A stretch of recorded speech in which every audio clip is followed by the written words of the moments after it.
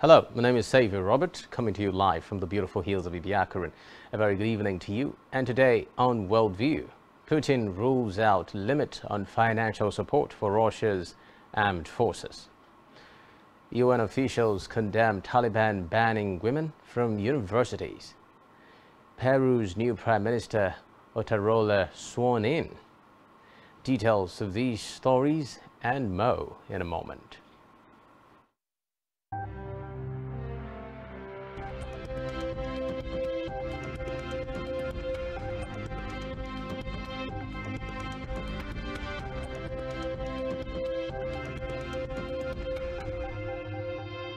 Worldview today, Russian President Vladimir Putin has promised to give his armed forces anything they asked for to support the military campaign in Ukraine.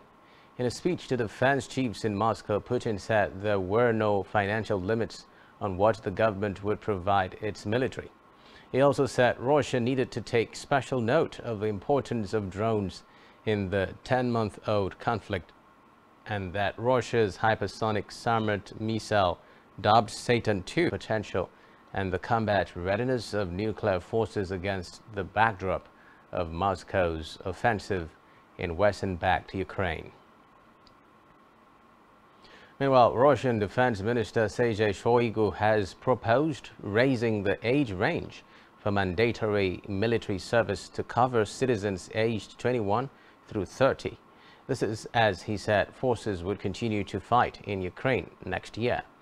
Under the current law, Russians aged between 18 and 27 can be called up for mandatory military service, but Shoigu and President Vladimir Putin have repeatedly said they are not being sent to fight in Ukraine. Speaking at an end-of-year conference with Russia's military chiefs and Putin, Shoigu also said Russia was accelerating the deployment of modern weapons supplies to the army. In the meantime, Russia's defense minister Sergei Shoigu says Moscow's forces waging a military campaign, the remark in a report during a meeting of President Vladimir Putin with his country's top military officers.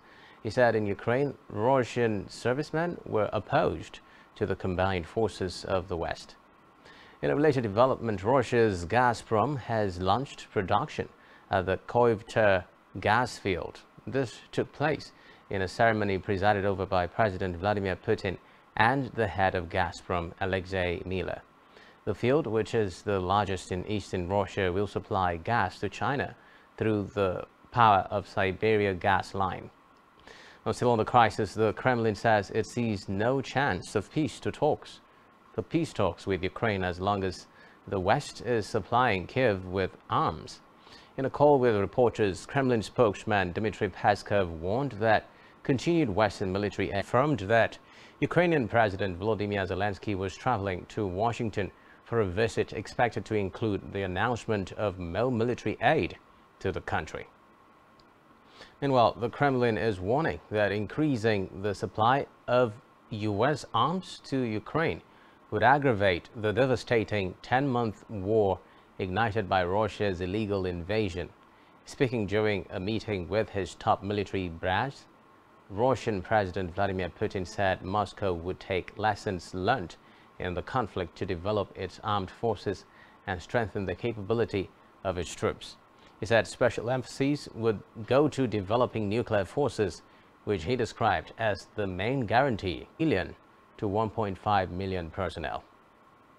And to more developments from the war, Ukraine's President Volodymyr Zelensky is on his way to Washington, where he will meet U.S. President Joe Biden. It is his first foreign trip since Russia invaded in February. The U.S. has confirmed that it will supply Ukraine with a Patriot missile system, significantly increasing the country's air defense capability. Zelensky said his visit to the U.S. was staying with the crisis in Ukraine now, it has emerged that air raid sirens today bled across the country. Local officials announced this, but there was no immediate word of a new wave of Russian attacks. Russia has carried out a series of missile and drone strikes on Ukrainian energy infrastructure since mid-October, knocking out power and causing emergency blackouts in many areas. In a related development, the International Atomic Energy Agency chief Rafael Grossi will visit Russia tomorrow for discussions on the creation. The international institutions in Vienna announced the planned visit. The plant in Russian-occupied territory has reportedly come under repeated shelling attacks that each side has blamed on the other, raising fears of a nuclear disaster.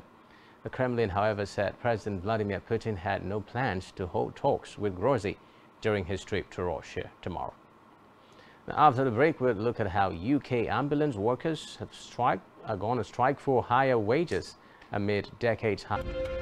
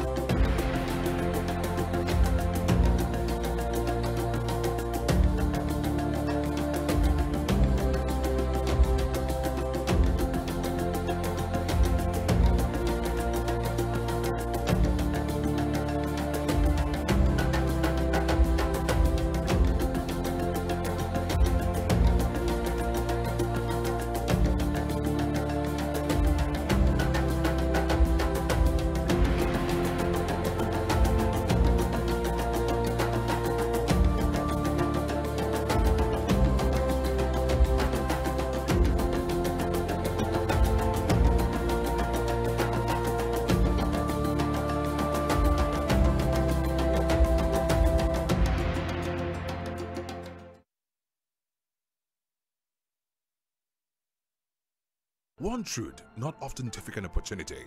On Spotlight Africa, we paint the African picture the African way, laced with truth, detail, and the color of the African continent. Join Uyai Anyekan every Tuesday and Thursdays at 4.30 p.m. Spotlight Africa, telling the African story.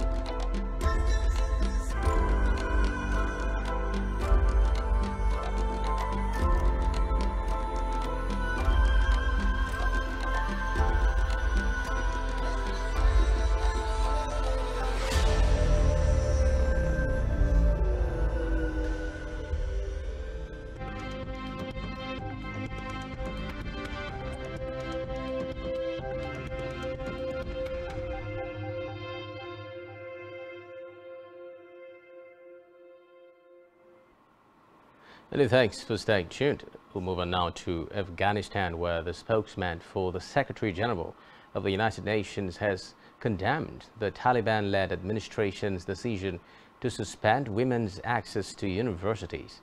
The spokesperson Stefan Dujarric said the denial of education violated the equal had urged the Taliban authorities to ensure women's equal access to education. Earlier, the UN envoy for Afghanistan also expressed her sadness over the Taliban banning women from universities.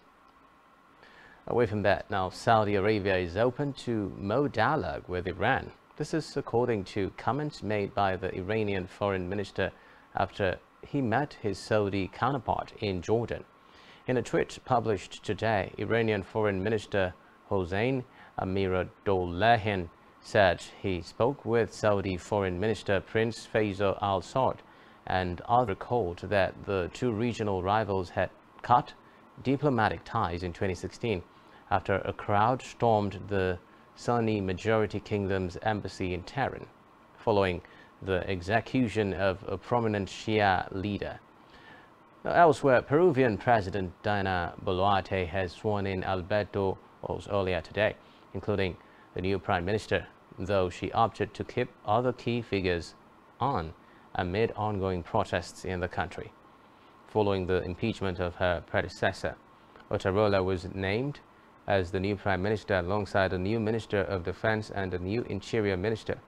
However, Alex Hines. Now in Malaysia, the number of people killed in a landslide has risen to 26. The figure was given by rescuers. They added that seven people remained missing.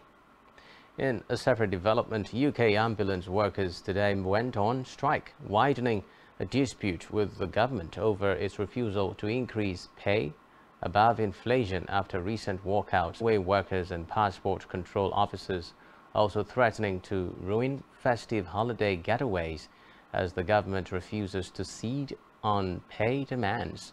Today, ambulance staff at the state-run National Health Service, including paramedics and call handlers walked out, prompting warnings from healthcare leaders about straining a health system. Picket lines on Tuesday, just five days after their first strike in its 106-year history.